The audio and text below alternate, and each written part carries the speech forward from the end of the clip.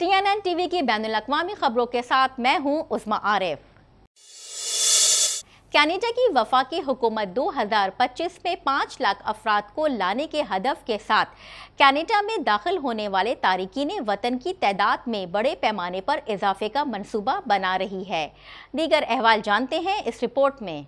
Canada की विफाकी हुकूमत 2025 में पाँच लाख अफराद को लाने के हदफ के साथ कनाडा में दाखिल होने वाले तारकिन वतन की तादाद में बड़े पैमाने पर इजाफे का मंसूबा बना रही है। इमिग्रेशन के वज़ीर शॉन फ्रिजर ने नए अहदाफ का ऐलान करते हुए कहा कि ये इकदाम कनाडा की इकतदी खुशहाली को यकीनी बनाने के लिए ज़रूरी है। इस ऐलान से पिछले साल कनाडा आने वाले चार लाख पाँच हज़ार तारकिन वतन और अगले साल आने वाले चार लाख पैंसठ हज़ार में नुमाया इजाफे का इशारा मिलता है। कनाडा की सनतों को मजदूरों की नुमाया कमी का सामना है। मुल्क भर में तकरीबन दस लाख नौकरियाँ खाली हैं।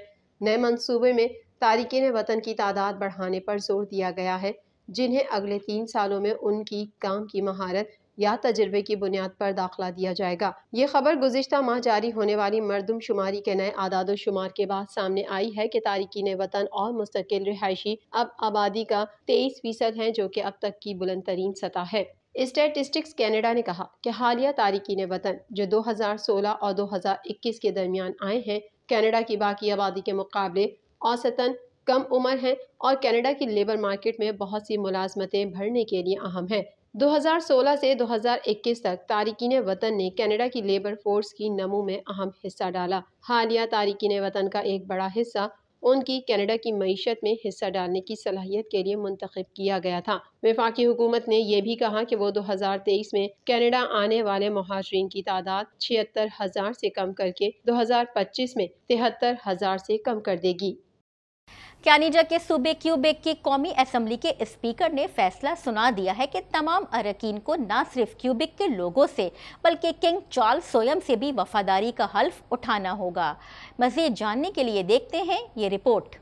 कनाडा के सूबे क्यूबैक की कौमी असम्बली के स्पीकर ने फैसला दिया है कि तमाम अरकान को न सिर्फ़ क्यूबैक के लोगों से, बल्कि किंग चार्लिस सोम से भी वफादारी का हलफ उठाना होगा। अगर वो अपने फ़रज़ अंजाम देना चाहते हैं, जो लोग इनकार करते हैं, उन्हें सार्जेंट एट आर्म्स के ज़रिए निकाल दिया जाएगा। गुजशत महीने, पार्टी के अरकान असम्बली ने अपनी हलफ बर्दारी की तकरीबा के दौरान बादशाह के लिए हलफ शामिल नहीं किया। दोनों जमातों के फैसलों ने उनकी कौमी असम्बली में खदमात, अंजाम देने की अहलियत पर सवालिया निशान लगा दिया।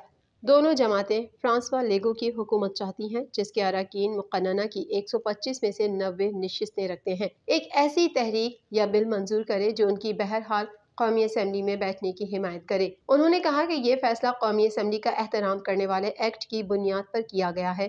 क्यूबैक का कानून, जिसमें यह शर्त आयद की गई है कि पार्लिमानी कार्रवाई में हिस्सा लेने के लिए कनाडा के सरबराह ममलिकत अब किंग चार्लिस सोम से वफादारी का हलफ उठाना होगा।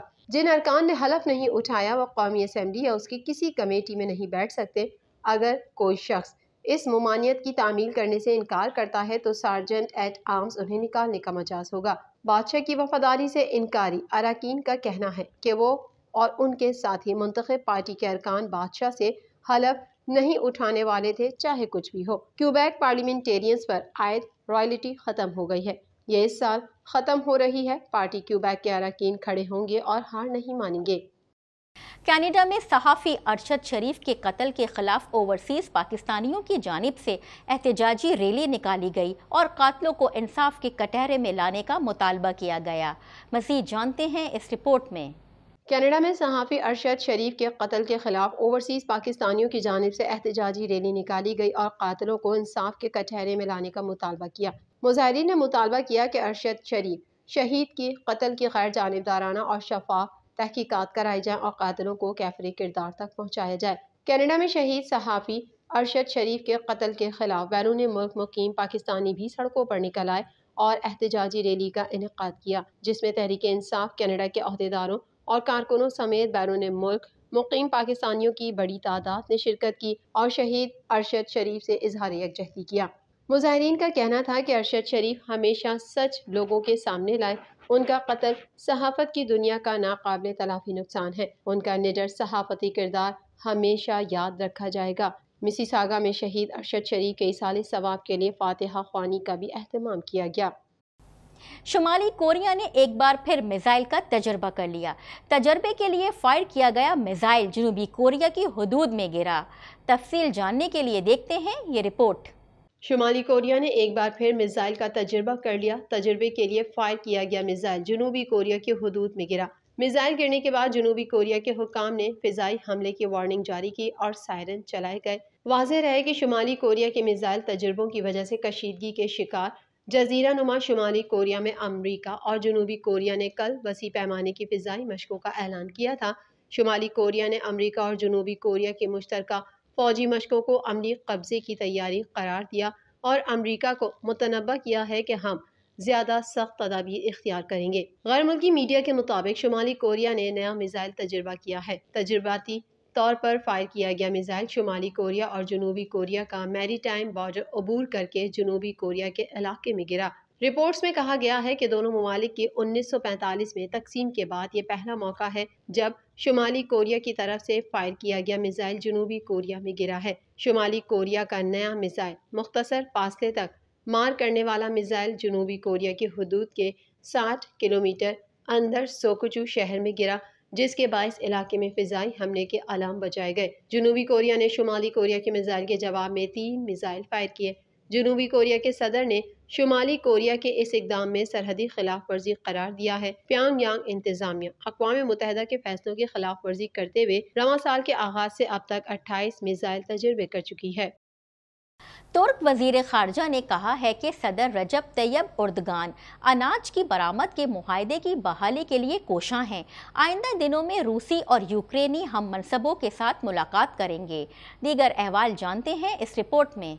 तुर्क सदर रजब तैयब उर्दवान ने रूसी सदर व्लादिमिर प्यूतन से टेलीफोनिक रबता किया और अनाज बरामदगी माहदे से दस्तबरदार होने के मामले पर गुफ्तु की। तुर्क वज़ीर खारजा ने कहा है कि सदर रजब तैयब उर्दवान अनाज की बरामद के माहदे की बहाली के लिए कोशा है। आइंदा दिनों में रूसी और यूक्रेनी हम मनसबों के साथ मुलाकात करेंगे। रिपोर्ट के मुताबिक तुर्क सदर का इस हवाले से कहना है कि अनाज बरामदगी माहदे पर अमल दरामद करने के मसाइल हल करने के लिए कोशिश कर रहे हैं। सदर उर्दवान का मजीद कहना था कि माहदे से मुतक मसाइल को फरीकैन के साथ मिलकर हल करने की कोशिश है। अनाज, बरामदगी माहदे के हल पर ताउन किया जा सकता है। तुर्क वज़ीर खारजा ने इस उम्मीद का भी इजहार किया था कि अनाज, बरामदगी माहदे का मसला हल कर लिया जाएगा। उनका कहना था कि अनाज, बरामदगी माहदा सबके लिए सूदमंद है। रूस, यूक्रेन जंग के बाद अनाज के मअतल होने वाले माहों की वजह से बहुत से ममालिक में गजा के बहरान का खदशा पैदा हो गया, जिसका बराह रास्त इल्ज़ाम रूस पर आयद किया जा रहा है। यूक्रेन से अनाज की बरामद के माहे की मअतली के बाद गुजशत दो दिनों में बहुत से मगरबी ममालिक ने रूस पर इल्ज़ाम की भरमार कर दी है। इस हवाले से रूसी अहदेदार ने गुजशत रोज़ ऐलान किया है कि रूस ज़रूरतमंद ममालिक को गंदम फराहम करके उनकी मदद करने के लिए तैयार है। याद रहे कि रूस गुजशत हफ़्ते यूक्रेनी बंदरगाहों से अनाज बरामदगी माहे से दस्तबरदार हो गया था। रूस और यूक्रेन का अनाज बरामद करने का माहिदा अकवा मुतहदा और तुर्किया की सालिसी में इस साल जुलाई में हुआ था।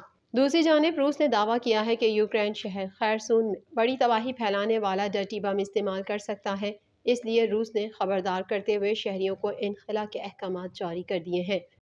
T N N T V के न्यूज़ बुलेटिन से फ़िलहाल इतना ही। मजीद खबरों और अपडेट्स के लिए देखते रहिए T N N T V